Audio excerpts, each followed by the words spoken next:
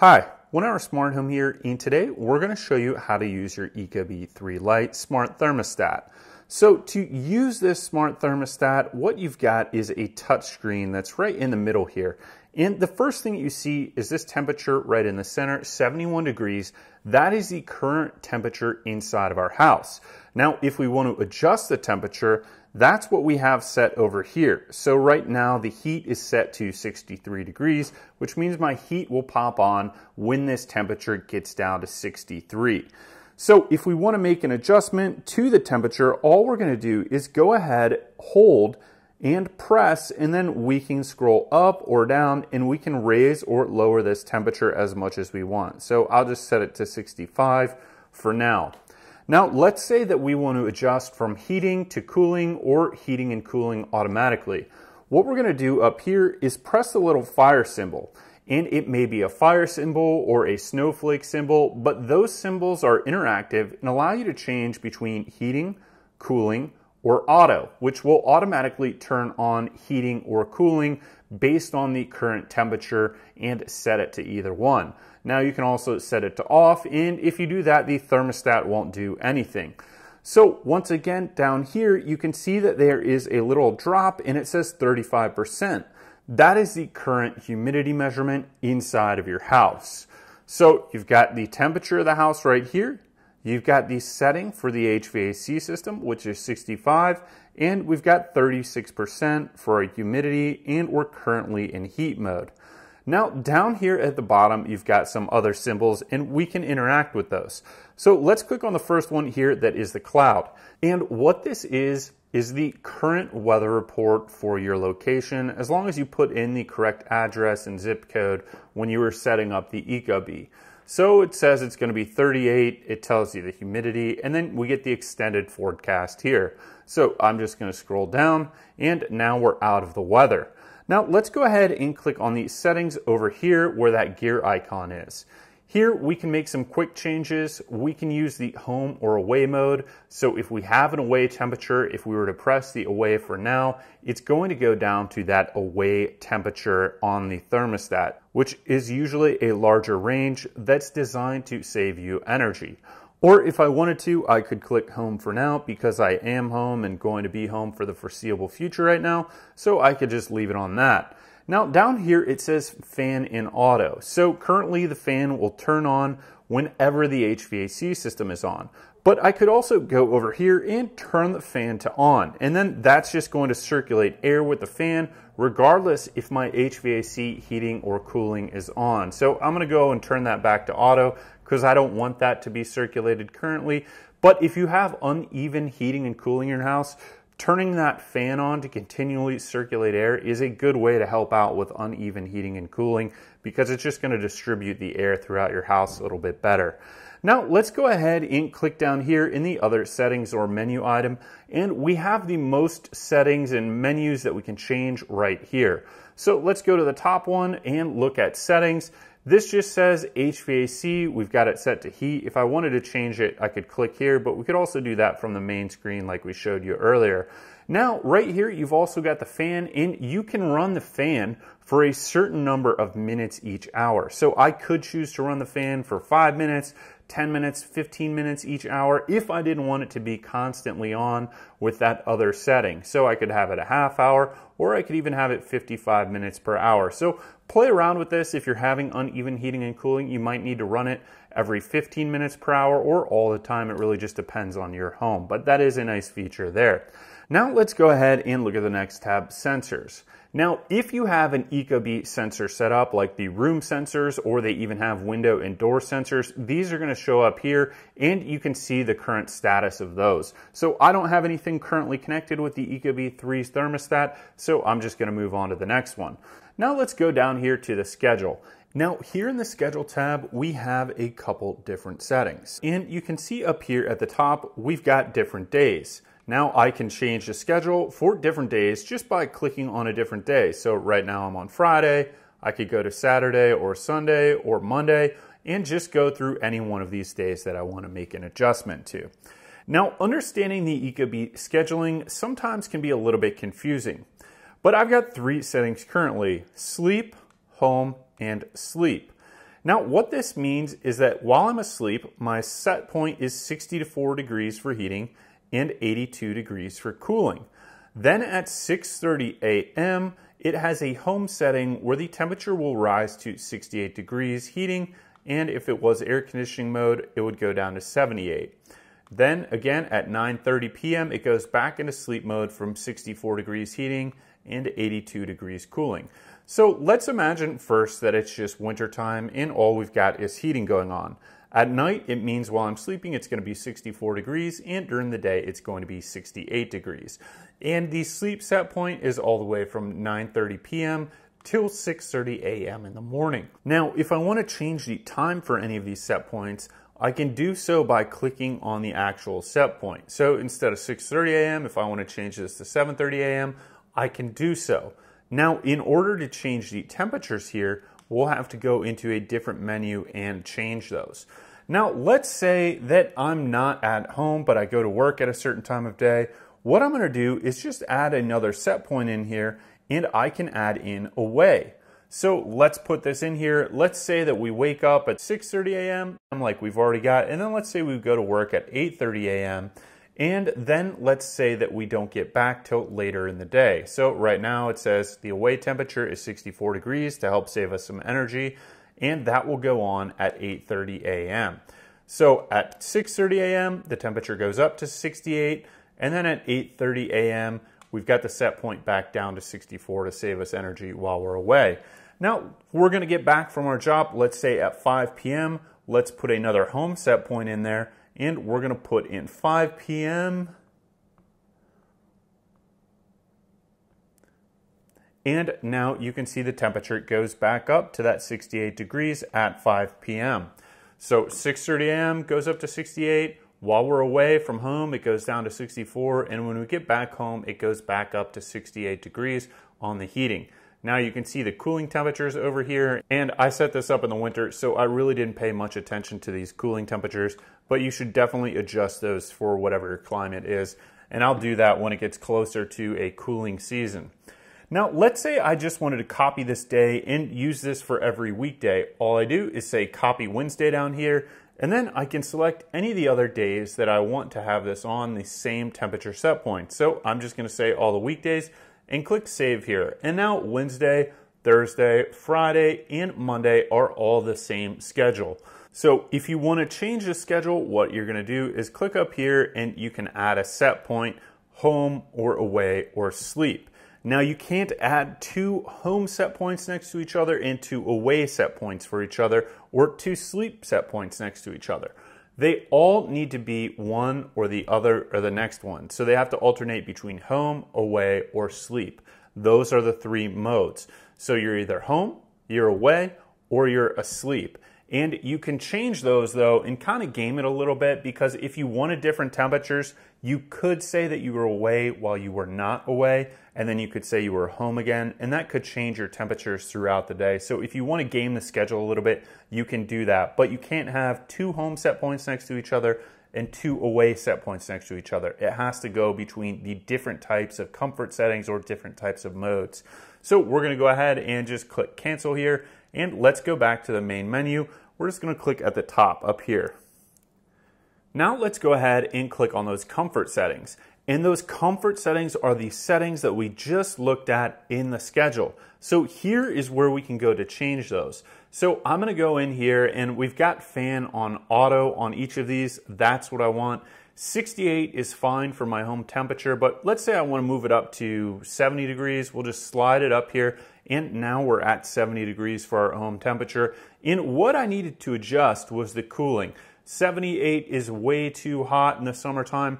Let's go ahead, we're gonna put this down at 72 here for when we're at home, and then we're just gonna go back. So now we've adjusted our home set point, and we can go back, save this, and now we can adjust those other set points.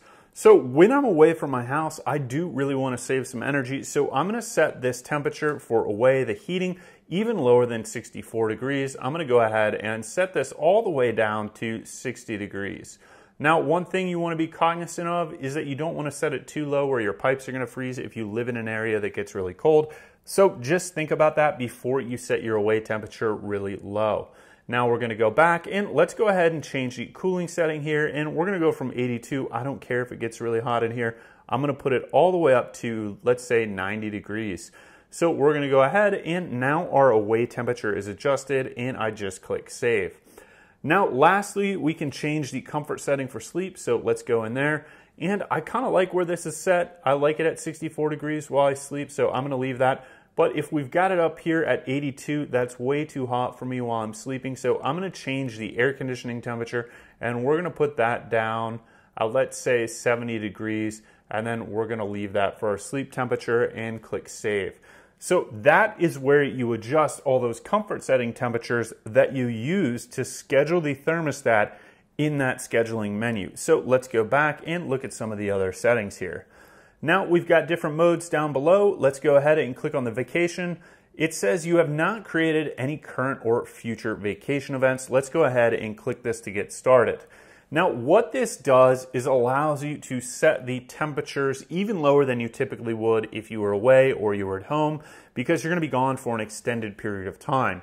That away function is really for if you're leaving for a daily activity, whether it be work or maybe you're going for a walk or you're going to be gone all day then you can go ahead and use that away function. But if you're gonna be gone for a week and you don't mind it getting really cold in your house or really hot, there's no reason to use that extra energy. You can then set how long that vacation mode is. So right now I could say I'm gonna depart right now and let's say I don't come back for a couple of days. I'm gonna be gone for, let's say, a week.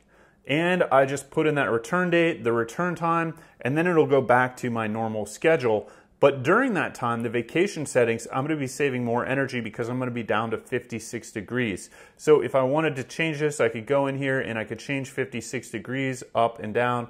Let's put it back to 58 degrees.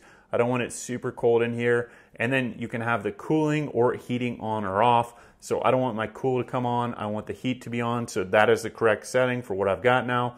And then you can select the fan run time there's not much of a reason that you need that fan runtime on unless you just want to circulate air so the air doesn't really get stale in your home if you're gone for a long time. So just a thought there with that fan setting. So we can go ahead and click save here if I wanted to save this, but I don't want to save this because I'm going to be here. I'm not going on vacation. And I go ahead and click cancel. Then we go back and we are all set. Now let's go down and we're going to click on reminders and alert. I don't have any reminders, but typically what's going to show up here is if you've got an HVAC filter that you need to change, that's going to show up there in the reminder and let you know it's time to change it. Now let's go in here and see what alerts I have. And if I click on alerts, it just says successfully paired with HomeKit. I've got a video that shows you how to set this up on HomeKit, actually how to set it up on Google or Alexa as well. So you can pair it with any of those three voice assistants. Just kind of a neat feature there. And let's go ahead and click on preferences. Now what we've got here is those preferences for HVAC maintenance, furnace filter, UV lamp, temperature alerts, and all these different alerts or notifications that you can have. So most of these settings you can alter and just choose a date and then it will be six months out. So if I wanted HVAC maintenance, I could click in here and then I can choose the frequency and the date of the last service. So if you have someone coming to your house and servicing your HVAC system, it's a good idea to make these changes and then just have a frequency every six months, 12 months. I prefer to use whenever you change heating or cooling, you should go ahead and change the air filters uh, really not too big of a deal there. So, so you can change around those maintenance intervals and be reminded of that. And then down below, you've got the furnace filter. It says every three months, last filter change December 6th. It's going to be based on pretty much whenever you set up your Ecobee thermostat, unless you change the setting while you were setting up this device. So let's go back again. Now the next one is the UV lamp. I don't have a UV lamp, but UV lamps are usually used for sterilizing air inside your home. So it has a reminder there if you want, whenever you can change the UV lamp and you could put enable and then you can click how often you want to be reminded of your UV lamp reminder for replacement. A low temperature alert, so I'm going to set this a little bit higher than 50 degrees. I'm going to put this at 55 because I live in Chicago and Chicago gets very cold and your pipes can definitely freeze even if it's 55 in your house when it's like negative 25 some winters when it gets really cold here. So we're gonna go ahead and click save and then we just click back and then I'll get a low temperature alert. It's gonna notify me on my phone and also on the device that it's low in here so I can see if there's something wrong with my HVAC system and take action before it gets way too cold and the pipes freeze. You've got a high temperature alert also. If you've got pets, good idea to set that. You don't want those pets to get too hot. You've got a low humidity alert, uh, which is good if you live in an area with really low humidity so that your wood floors or cabinetry or doors don't dry out too much and you can cause issues there. Same thing with high humidity. Maybe you live in some place with high humidity. Humidity can sometimes cause issues with building materials. So then you go down below, it says display alerts on thermostats enabled. We want that. Enable heating cooling alerts. We want that. So we're all set there. And we're just going to go ahead and click back now and then go ahead and click back again. Now, the next item we've got is settings and preferences and defaults. So we're gonna go ahead and scroll down to the menu item and click it. Now in the settings tab, we have different menu items. We can make adjustments to the date and time, this will automatically come up when you set up your Ecobee thermostat and then it should stay in there. Let's go ahead and click on preferences and we can look at different temperature display options. So you can do Fahrenheit or Celsius. You've got the heating range, the cooling range, the name of your device. So if you want to change this, you go in here and you can change the name of your device. And you might want to do that if you have more than one Ecobee thermostat or if you plan on using this with Alexa or Google Home, you want to give it a unique name so that you can use a voice command to be able to control this Ecobee thermostat. So always a good idea there to go in and change the name if you plan on using voice commands with your Ecobee thermostat. You can change the screen brightness here, the standby screen or the active screen. I'm just gonna leave these how they are. You can do a timer for how long the screen will remain active between standby and active mode. Now, hold action. This is one that is good to check out. Now, the hold action function is when you change the temperature, but you've already got a schedule set. So it allows you to choose how long that temperature will be held. You can choose two hours, four hours, or until the next scheduled activity. So I like to leave it at the until next scheduled activity. So if I'm a little bit too hot or too cold during the day and I turn it up, then it's going to automatically go back to that sleep setting at the scheduled time. But you could change it to until you change it, which means it's just going to stay on whatever temperature that you put it to or decide at time of change. So a couple different options there for the hold actions. Now what we've got down here is the heating and cooling smart recovery. So let's go ahead and click on heating smart recovery.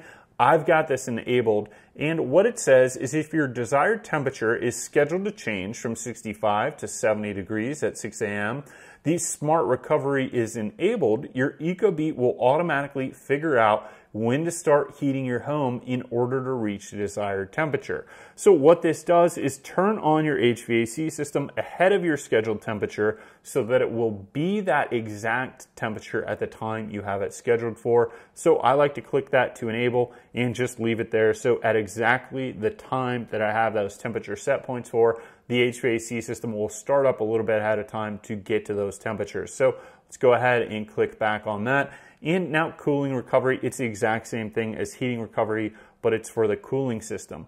So that's all we've got in this menu. Let's get out of here for preferences. Now below, we've just got the Wi-Fi network that we're connected to. All you do is go in there. If you need to make a change to your Wi-Fi network or password, you can do that in that setting. The installation settings, we can go in here and see what equipment that we've got installed. So we can look at our wiring, what kind of furnace or air conditioner have. We have a one stage furnace and a one stage air conditioner. So here in the wiring tab, you can see what wires that you have installed. We've got an RC, a C, a W1, and the power extender kit installed for our HVAC system. And all we've got is a traditional furnace with an air conditioner. So we're gonna click out of that and we're gonna click out of this again. Now down below, we've got our thresholds and what this allows you to do is really customize some of your settings. Now what we've got here in the threshold settings are some different adjustments we can make to our HVAC system. So we've got auto heat cool enabled. We're gonna leave that on, but you could disable it. And all that means is that you have to manually schedule between heating and cooling and it won't automatically go between the two. So we've got it enabled to let it automatically go between the two, but you could disable that if you wanted to. What we've got here is a heat cool min delta, and that lets you only set the temperature five degrees or larger when you're setting heat and cool. So you're not heating and then cooling and wasting a whole bunch of energy heating up your house and then cooling it with your air conditioner or your heat pump. So kind of a nice feature there. Now we've got configure staging and that's for if you have a dual stage heating and cooling system. We don't have that, so I'm just gonna go past that because I can't make any adjustments there. It says compressor min cycle time, off time, and this is just so that your compressor isn't going on and off and cycling all the time really rapidly. So it's set there for 300 seconds, which is a good time, but you could adjust that to even higher if you wanted to be a little bit safer. And then it says compressor minimum outdoor temperature. And it's not gonna let me turn on the compressor if it's below 35 degrees. And that's just to protect the compressor from damage when it's really cold out. You don't wanna have it turning on when it's freezing outside. The heat minimum time, that is the shortest duration that the heating will go on for. So we're gonna have it for a runtime for five minutes. Compressor, it's the same, a minimum runtime there, five minutes. And that's just so your system's not shutting down and turning back on and off and on and off a lot really quickly, trying to limit the amount of cycles that your HVAC system goes through. You have a temperature correction here and a humidity correction here. And the temperature correction would be for if you've got this in really bright sun, you can retard the temperature a couple degrees because the solar gain on this is going to heat it up a little bit. So that's the purpose of that temperature correction there. And we can go back to our thresholds and we can also go down here and we can test our equipment and what this is going to do is it's just going to go through testing, make sure your compressor runs, make sure your HVAC system runs, make sure the fan runs, make sure the furnace runs. So we're just going to go ahead and click cancel because I know everything is properly working, so I don't need to do anything there. And then let's go ahead and look at access controls. If you want to add a security code, let's say you've got this in a rental or you don't want your kids adjusting the temperature up and down a whole bunch, you can enable a security code and then enter a security code here. And then no one is going to be able to change those temperatures or range of temperatures without using that four digit access code. So we're gonna go ahead and cancel. We don't need to set any kind of settings on this.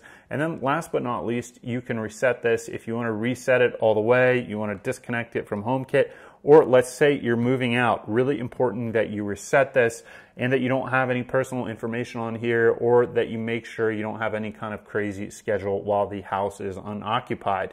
So we're just gonna go ahead and click back and now we are back to the home screen. So that is all we have for showing you how to use your Ecobee 3 Lite Smart Thermostat. Now, if you want to see how to make all the adjustments that we made here on the thermostat manually, you want to see how to do that from your phone, we're going to have another video that shows you how to make those same adjustments or change your settings on the Ecobee 3 Lite Thermostat from your phone. So thank you for watching this video. Please give us that thumbs up, subscribe, or click any links below if you want to support us.